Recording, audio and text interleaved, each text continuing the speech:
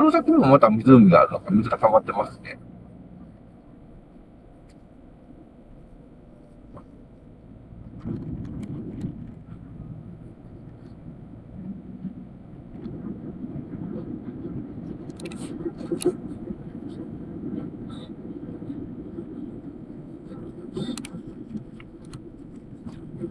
おー、すげえ、綺麗。すげえ、水が滴ってる。な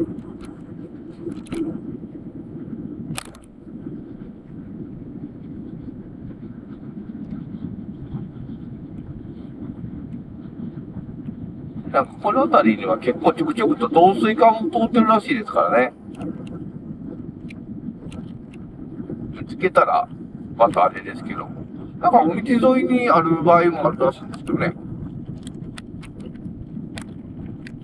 すごい結構あちこちがさっきのように水が。さっきもああるの降ってましたから。あ、藤の花が咲いてる。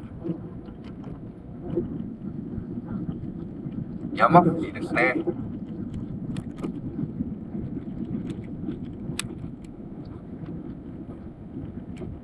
また発電所なのかな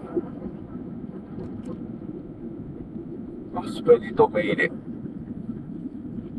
取。っちらしいですね。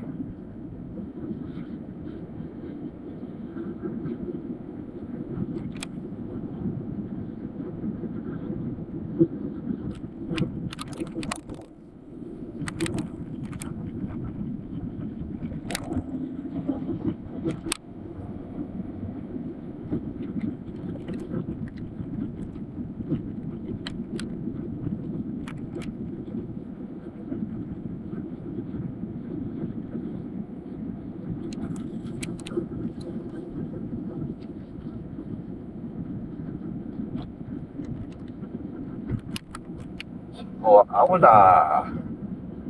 オッケー、オッケー。オッケー、オッケー。待ってな。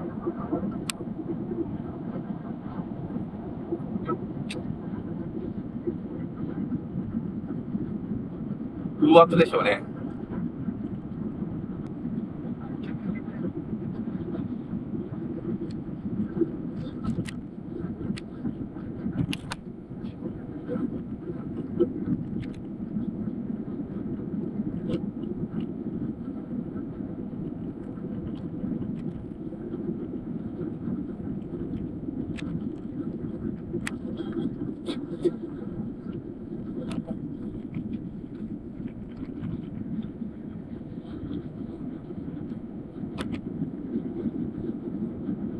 ここからも乗れるんだ。旧旧館の福井方面に行く無料区間。あ、開通してんだ。へえー。で、北陸自動車道に乗れるんですね。これが最終的には繋がるんでしょうね。繋がったらめちゃくちゃ便利ですね。繋がったらめちゃくちゃ便利ではあるけど、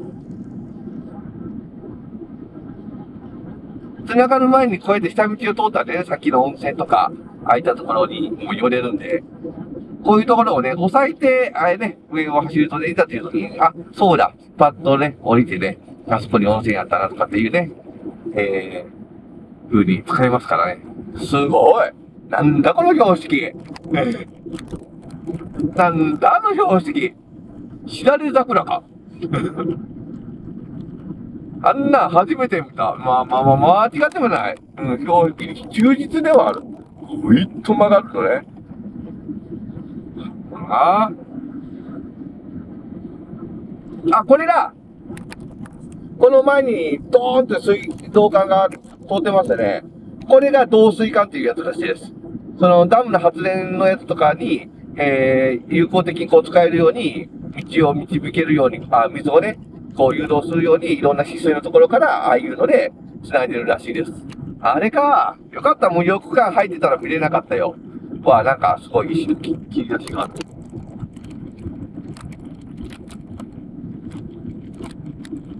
あ、スノージェット兼ねてるのか。ああいうのないと、雪で埋もれて階段降りれなくなっちゃうんですよね、冬場。ダムの管理に必要なんで、ああいうのが置いてあるんでしょう。えらい横長な鳥居が出てきたら面白いな、この道。結構走ってるといろいろとありますね。はい、交通の関連ありがとうございます。なるべく端っこを通りましょうか。鳥居ですね。すごい鳥居だな。あー、でも綺麗。大野城はもう閉まっちゃってますけど、ちょうどこれ大野城を綺麗に見れるんじゃないどうかな？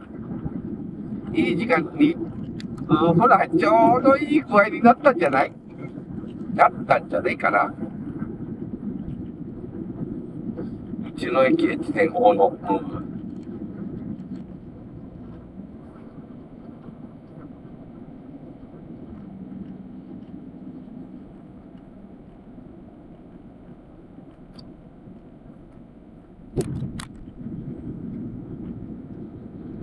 がどうするか。蕎麦を食って帰るという手もあるけど。やっぱそうなんだ。扉もついて中に雪が入らないようにしてるんですね。下に置いてる階段。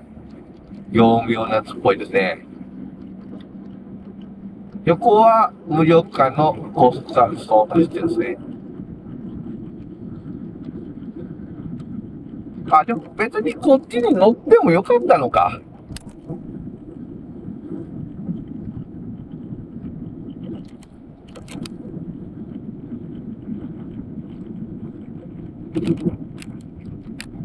乗ってもその、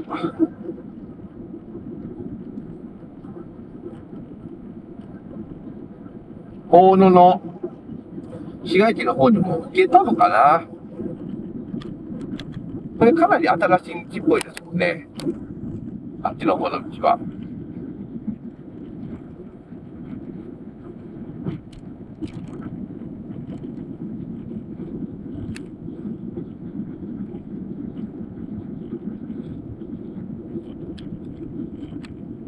置いていきっぱなし。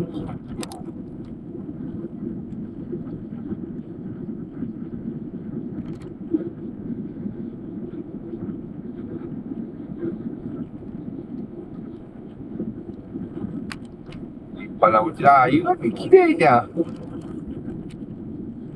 こっちはそっか、日本海側に似てるから、ちょっと日の入りが遅いのか。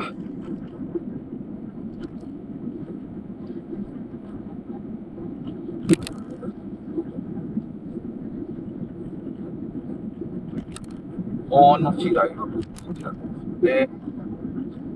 まあ、福井まで行って出ちゃったら、まあ何かしらとあるんでしょうから、まあせっかくここまで来たんだったらね、大野に寄ってみたいですから、どこ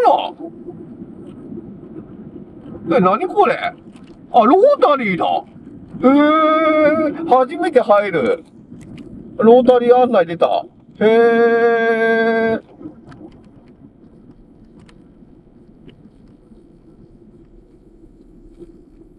一旦停止はしなくていいんですね。右よし、左よし。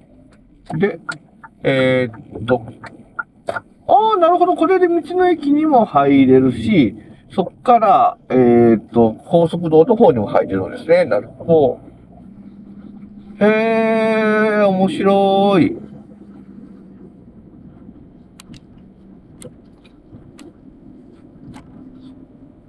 イギリスなんかでは結構整備が進んでるって言いますもんね。あのロータリー式のやつ。信号をね、設置しとく必要がないんで、あの、管理維持がむちゃくちゃ楽だということで。多分普及するまでが大変ですけど、普及してしまえばね、きっと使い勝手いいと思いますけどね。